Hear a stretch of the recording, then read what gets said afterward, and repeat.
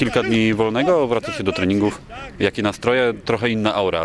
No właśnie, e, wiemy, jest to już późna jesień i e, trzeba było się spodziewać, że kiedyś ta pogoda się załamie. No na pewno podchodzimy po tej, przerwy, po tej przerwie gdzieś tam pełni e, energii, bo wiemy co nas czeka. Bardzo ważny i ciężki mecz w Warszawie z Legią. Dlaczego pytam o aurę? Bo Pogoń jednak gra piłką. Gra piłką po ziemi, szuka takich e, akcji kombinacyjnych.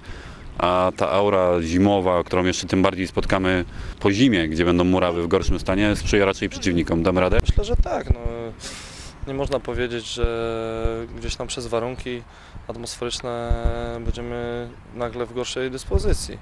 Warunki są identyczne dla, można powiedzieć, obu drużyn grających na boisku i em, nigdy nie można się wykręcać warunkami pogodowymi. Silny przeciwnik przed nami, bo Legia Warszawa jeszcze tydzień do, do tego meczu. W jakich nastrojach przystępujemy? Bo jednak gramy i z mistrzem Polski, i z liderem tabeli.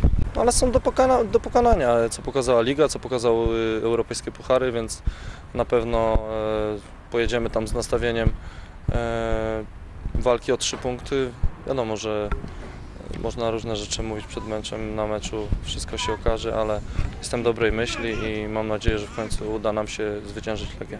Dzisiaj mecz reprezentacji Polski ze Słowacją. Marcin Robak ma szansę. Siadacie przed telewizory, trzymacie kciuki za kolegę z szatni? Naturalnie no, jest reprezentantem naszego e, klubu przede wszystkim. Cieszymy się, że Marcin po raz kolejny dostał powołanie, bo widocznie na nie zasłużył i, i będziemy trzymali za niego kciuki, ale też za, za całą reprezentację, bo jesteśmy Polakami i uważam, że, że yy, powinniśmy kibicować tylko i wyłącznie naszej reprezentacji, kiedy ona gra.